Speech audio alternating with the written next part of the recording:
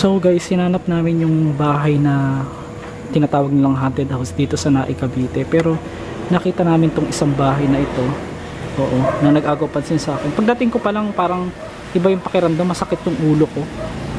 Hindi ko alam kung kailangan ko lang ng ano. Or baka sa biyahe lang guys.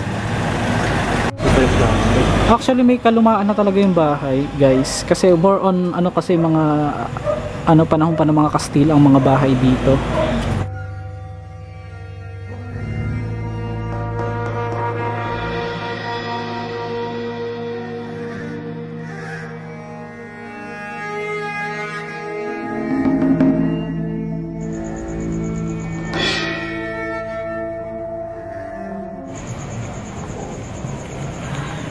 Hi, Kamaster. Welcome back po to my YouTube channel. Si Master Gala po, ah, madalas po ako sa mga sementeryo. Ah, ngayon, hindi po tayo pupunta sa sementeryo muna dahil isa po itong special na araw. Ay nandito tayo sa isang sementeryo. Charot. Seryoso masyado. Nandito tayo sa isang ah, abandonadong bahay. Makikita nyo dyan sa screen na talagang hindi lang po yung mga nakausap namin kanina na nagtatanong nung pinagtanungan ko na meron talagang hindi lang bukod sa white lady marami din daw nagpapakita mismo rito sa pinakadaanan na to na hindi raw maipaliwanag kung minsan may mga let's say sabihin natin elemento. Oo. Nasa labas kasi kami ng kasama ko hindi kinikilabutan na talaga ako. Daw itinayo daw yung bahay na ito since 1930s 30s at sinasabi naman nila 1950s yung iba kaya ayon sa mga napagtanong-tanong natin dito, talagang iba yung pakiramdam eh pag nandito ka. Kaya let's see, pasok tayo sa loob kung makakapasok tayo. Kung bago ka lang sa channel na to, huwag mo sanang kalimutang mag-like, share, subscribe para po ma-update ka sa mga bago nating video. I-hit mo yung bell on para po uh, magkikita-kita tayo sa mga bago't luma nating mga video dyan sa ilalim. Kanina pa ako namamaos, hindi ko alam kung bakit.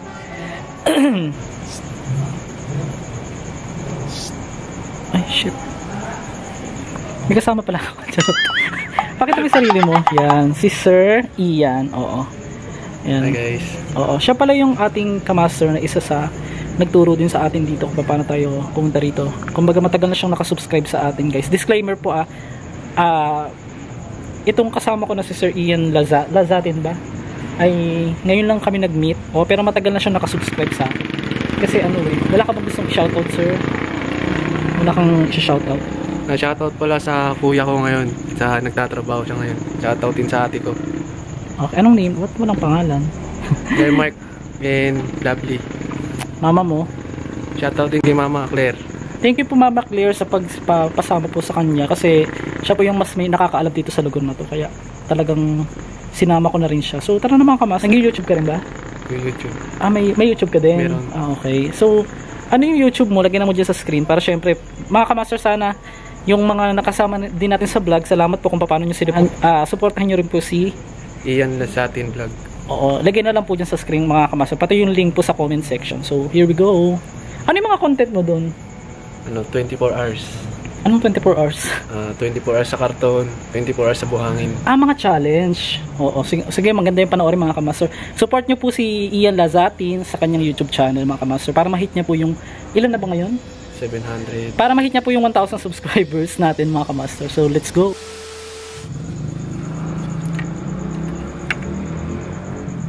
So, sa labas pa lang ng tabing kalsada, makikita nyo tong mga design, no?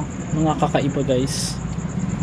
Medyo some, may old siya ng, may touch siya ng parang medyo creepy. Tapos, ito ito yung gate. Daman ko sa mga abandoned place, eh, kamaster. Sa pansin nyo kahit, ano ba to? Naiingayin tayo ng aso.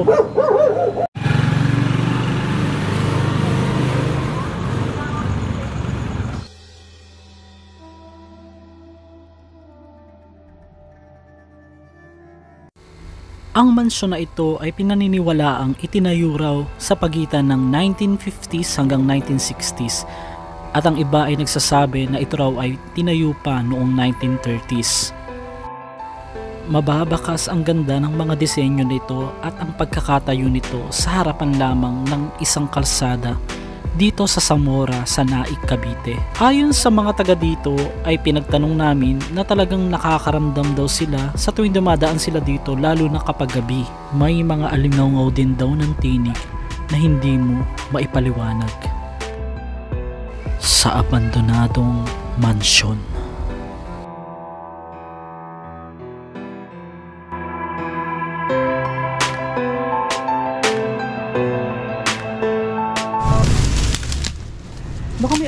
Dito. Ay. Ito yung ano. Ay, ito yata yung binlag ni U. Yung naglag. Ano, Tabi-tabi po. Oh my gosh. Ang ganda. Konting pasilip muna. Pabitin muna tayo guys. Itin muna tayo guys. Itin muna tayo guys. Ang creepy. So ito na guys, nandito tayo sa bahay ng isang ah, sa mga kamag-anak po ng mayor ngayon dito po sa Nai Cavite. Ah, maswerte po tayong pinayagan na pumasok po dito at mag-vlog. Oo mga kamaster. At tignan nyo to, papakita ko sa inyo.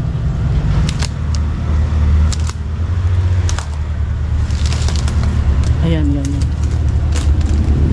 Tignan nyo, makikita nyo dyan sa design.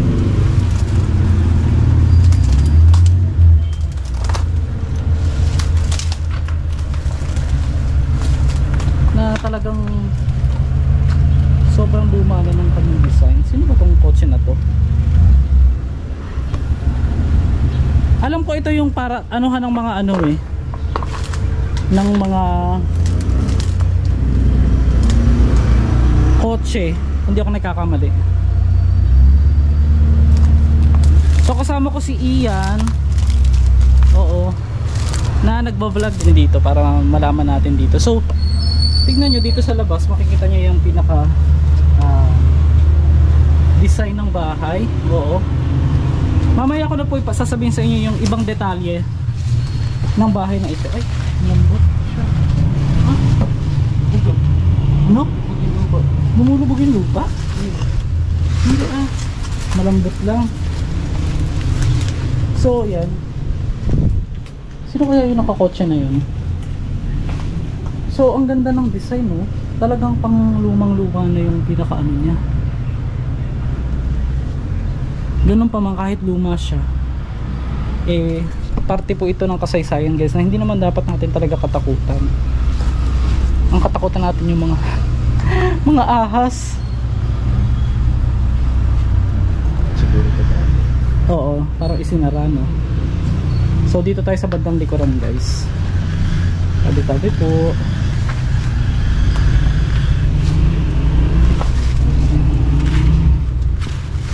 Parang may lagusan dito. Ay, ano?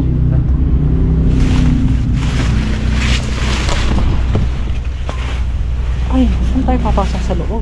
Parang walang pinto. Parang sinarado. Tabi-tabi po.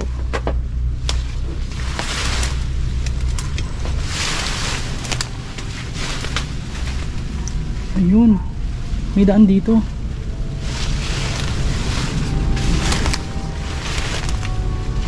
So natin dito tayo sa pinaka side ng likod ng bahay na to. Kaya lang may sarado yung gate. Meron dyan. Uy, ingat ha, baka may ahas. May daan din? Oo, meron.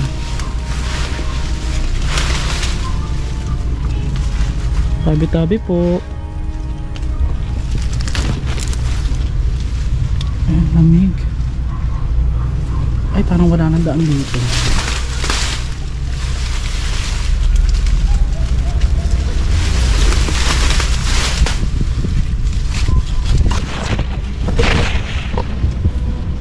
Ayun, meron.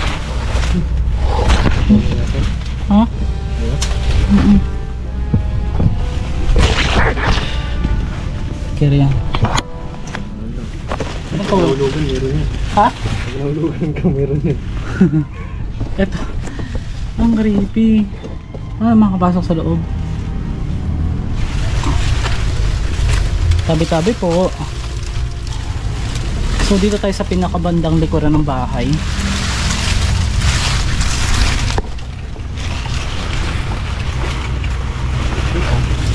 Huwag kayong mag-alala guys. Ay oo nga. Wala, walang daan sa loob. Walang daan sa loob. Ang ganda ng mga design oh. Ano yung parang nandanan din sa kalimutan? Tabi-tabi po. Wala? Sarado? Wala. Teka. Kasi ano siya oh. Pattern na? Um, parang may mga box. Parang design na pinaka-design ng box. Tabi-tabi po. Namumula. Bababa muna ako. Wala. Oh. Nakasemento. Ay. Ay. Narinig nyo? Parang may sumarang pinto sa loob. Sarado dyan? Sarado. So ito guys, meron ako napansin dito sa pinakalikod na. Lumang modelo ng telephone. Yan.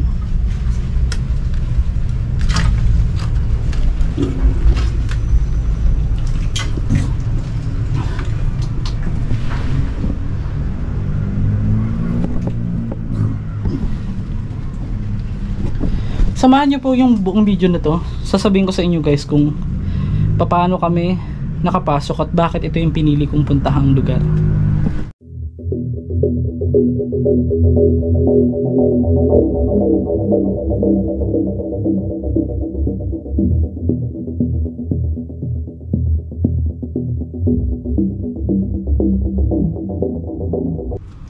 Biglang ako nang hina eh. Ay,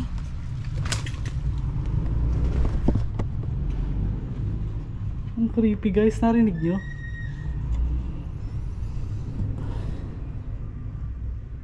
Ano yun? Ayun, tignan nyo, meron pa pala dito sa part na to. Hindi natin sure kung makakapasok tayo sa pinakaloob eh. So, nafe-feel mo matanda. Ako din bago ako pumasok dito guys, meron akong naramdaman na kakaiba. So, saan ang daanan yan? Sa pinakaharapan. Dad, tignan nyo. oh. Medyo kakaiba yung style ng bahay guys. Hindi ko alam kung para... Oo. Sige, tignan natin. Naghanap kasi kami ng daanan guys. Hindi namin makita. Sayang yung bahay. No? Pero alam nyo mga kamaster, yung may-ari nito, hindi na po... Hindi na raw po nang hinayang Oo, kasi sa dami po ng ari-arian nila, ah isa ito sa tawag dito. Isa na lang ito sa parang sobra-sobra sa kanilang mga yaman.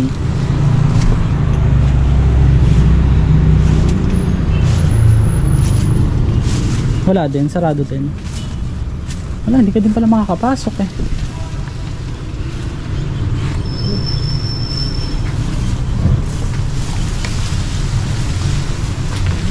Mabi-tabi po. Ano ko pa naririnig yung parang may pinto na sumasara? Wala. Ah, no choice tayo. Akitin natin. Pati natin. Mamayang gabi na lang. Gabi natin akitin. So guys, mas exciting to sa gabi. Mamaya, akitin natin to. Ano no? Sabi ka magsabihan. Ay, may padulasan. Yeah. nagiba na alam mo hindi naman totally dapat katakutan ng bahay na ito guys eh kahit maraming kwentong kababalagan na sinasabi sila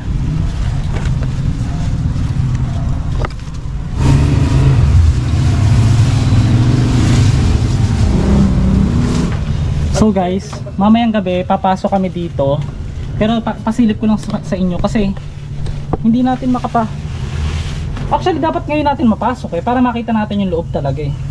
Tapos babalikan natin ang gabi, di ba? Ay. So yan. So ma- mapapansin mapapansin nyo guys yung pinaka ano ng bahay.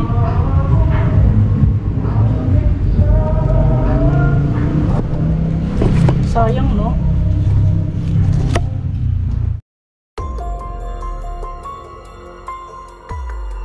Yun, yun yung mga sinaunang ano.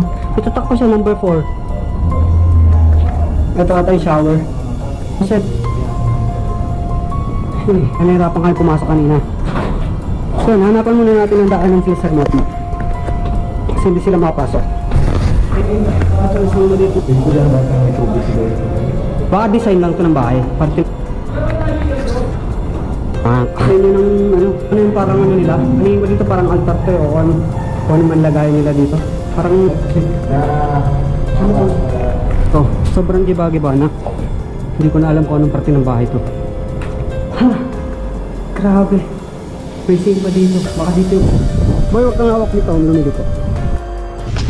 So guys, kukuha ko po muna siya ng ah, drone shot. Oo, kasi ang hirap po kasi umakyat dyan. Akyat na naman kami, bababa na naman kami. So isang puntahan na lang mamaya. Ah, baba pinakaloob. Mag-ghostahan tayo sa pinakaloob nito. And then before that, pakita ko muna sa inyo, pasilip ko sa inyo yung ibang shots, mga ginawa kong shots sa, sa labas at paligid ng buong mansion na ito. At kung gaano siya kaganda, mga kamaster. At medyo something creepy, pero wag natin tignan yung creepy side. Tignan natin yung kagandahan na side ng mansion na ito na itinayo pa noong 1930s, early 1900s hanggang 1930s mga kamaster. So sana kung bago ka na sa channel natin ay huwag mong kalimutang mag-like, share, subscribe para po ma-update ka sa mga panibago nating video at i-hit mo na po yung bell on para talagang lahat ng video ko dyan mapapanood yung lumat bago mga kamaster. So here we go. Ayon sa mga napagtanungan namin, tinatawag nila itong haunted house dahil nga sa mga kwentong nakakapangilabot na nararanasan din ng mga dumadaan at ng ibang mga nakakakita dito sa labas man ng mansyon na ito. May mga kwento rito na dati raw itong may katabing manukan. Isang painante ang nagbenta ng manok at sa isang matanda raw na nakita niya rito at ang tagal daw niyang naghihintay sa labas at kinuha daw ang manok at hindi na ibinalik sa kanya. Napagtanto niya, ipinagtanong niya kung meron bang taong nakatira dito pero ang sagot sa kanya ng mga kapitbahay dito ay wala raw kaya doon na nagsimulang mangilabot ang kanyang buong katawan at natakot talaga ang painanting yun. May mga kwento rin kaming narinig dito na ang mismong bahay daw sa harapan ay may mga nagpapakitang parang mga anino daw na malalaki. Ganun pa man, ito ay kwentong bayan lamang na hindi naman talaga nabibigyan ng totoong basihan na meron din sinasabi ang ilan na may mga morgue daw sa loob ng bahay na ito. Ngunit ito ay mariing itinanggi ng aming napagtanungan dahil ito raw talaga ay hindi raw bahay ng doktor. Kundi ito ay pag-aari ng dating kilalang pamilya na may mga kamag-anak ngayon na koneksyon sa isang mayor dito sa Cavite. Sana ay wag natin tingnan ang katatakutan sa bahay na ito, kundi ang pagpapahalaga rito sa kagandahan nito kahit ito ay parang napabayaan na.